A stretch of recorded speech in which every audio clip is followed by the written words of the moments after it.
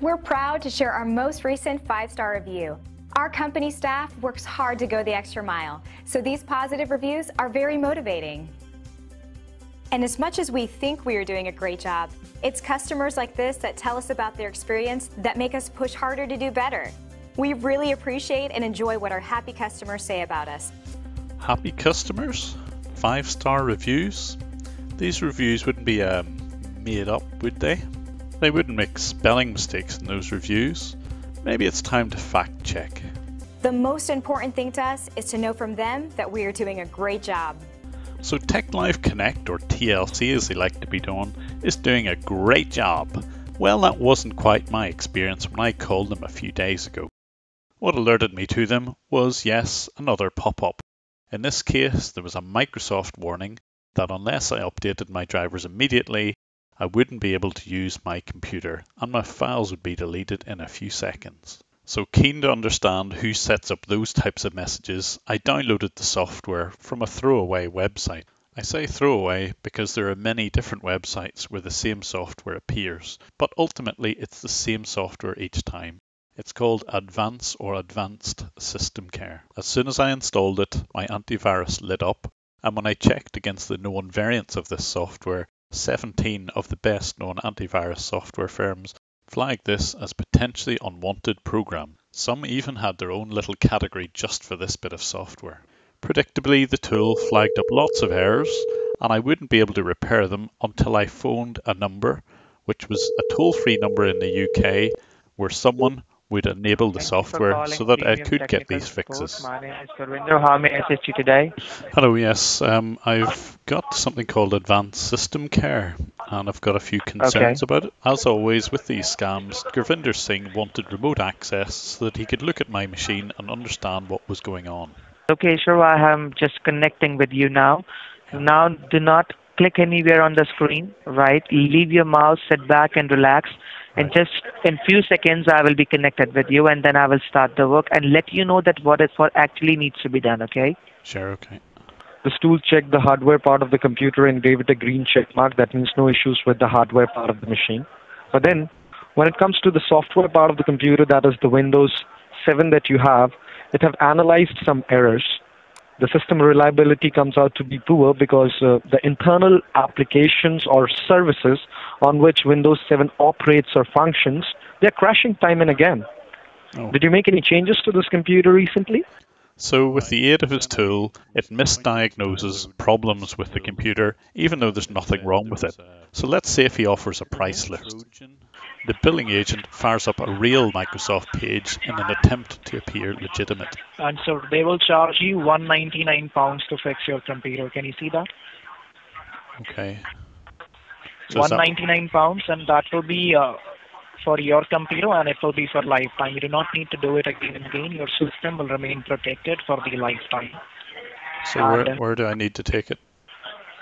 So the uh, other option will be online, where technicians will know. Well, don't keep your computer for 10 to 12 days. It will be done right here within 20 to 30 minutes. So these guys are offering to fix the computer immediately for the same price that Microsoft would charge. This is the second option. They will fix it right here for you. So at this point, the call is handed over to yet another agent. This time his name is Praful Bhatia. This is a name that I look up on Facebook.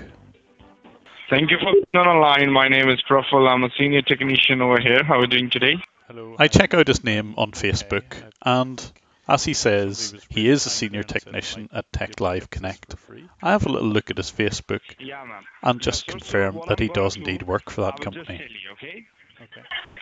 Okay? That I will help you out to fix up each and everything on this computer, and I will do tune up and clean up and providing the security on this computer, so that you never ever face any kind of issues in future. Okay? Okay. Whilst I'm talking to Praful, I check out TechLive Connect's homepage. They've even got a little notification which says that other people are impersonating TechLive Connect, and it's not them making fraudulent calls, even though I've verified that every person that I've talked to works for TechLive Connect already. But just to make sure, I check to see where they want me to make the payment. And yes, as predicted, they do get their payments via TechLiveConnect.com's website. If anyone really was impersonating them, they certainly wouldn't be sending payments to TechLive Connect. Hello? SYSTM CARE has detected 83 items, which can be critical to your Microsoft Windows 7 Home Premium System performance. Click on Start Repair to fix these items. Whilst their fake software was audibly warning me, I decided to have a look in a bit more depth about who TechLive Connect really are. From their website, their address is 1010 North Central Avenue, Glendale, California. And here is that building on Street View. There's no visible sign that TechLive Connect have anything to do with this building, and there's just a sign offering an office for lease. But fairly unusually, it is possible to find the exact call center location by a simple Google search, and here it is on Google Maps. Their address is the sixth floor of Platinum Towers, Sohna Road, Gurugram, on the outskirts of Delhi. This is what the building looks like from the outside. But even pictures from the inside of the building aren't difficult to obtain. I got some of these photographs from LinkedIn, and they have a cafeteria, a training room, even in French and German, and this is the floor that they work on. But it was this angle that really caught my eye and it was not the do not use foul language sign on the left. But if you've seen any of my previous videos, you might recognize the red screen on the right. Yes, even in their corporate photographs, they've managed to trip themselves up by capturing an image of one of their own pop-ups. So who runs this sort of company? Again, not too hard to find on the internet. Our company name is TechLive Connect, or TLC for short, and uh, I'm the CEO. I founded the company about a year and a half ago. The co-founder, together with Ryan Cotter, is a guy called Anuj Jain, who is here on the right. This is him at some of the corporate events, together with the senior management team. From what I can gather, it's Anuj Jain who heads up TechLive Connect in India. But what surprised me most about this company was there were 138 Google reviews, and this company seemed to be getting very high marks for support. Perhaps some of these reviews could have been fake ones, so I decided to do a bit of digging. Remember the promotional video about the glowing reviews that this company was getting at the start of my video? Well, the review was apparently submitted on Yelp, so I thought I'd look a bit further.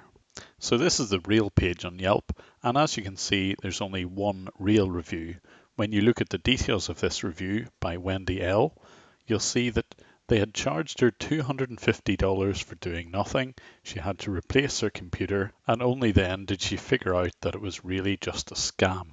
But it wasn't just Wendy and I who had discovered the scam.